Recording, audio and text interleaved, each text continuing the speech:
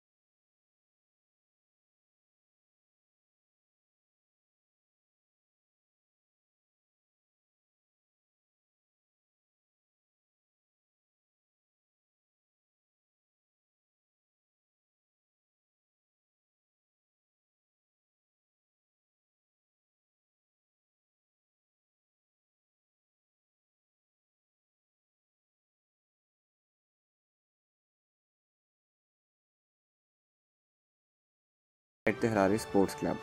Thank you for watching. For more news and updates, please click on our link tree.